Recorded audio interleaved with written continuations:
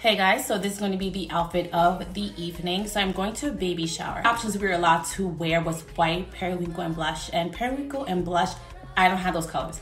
I'm wearing this white set. This is the inspiration to my outfit. I wanted to give it a Beyonce-esque type of vibe, but I didn't want it to be so plunging. I wanted to keep it a little bit modest. As far as for jewelry, I do have this beautiful earring that I got from Etsy. These are custom made. I have these rings that I purchased as of Amazon I have my Rolex and my Cartier bracelet and the bag.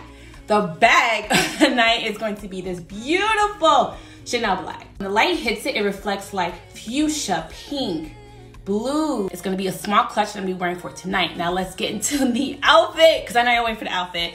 Peekaboo, a little bit of a skin, but not too much for baby shower. And it does come with wide flare pants. Shoes, of course, are these beautiful Louboutin. You guys, it is so cute.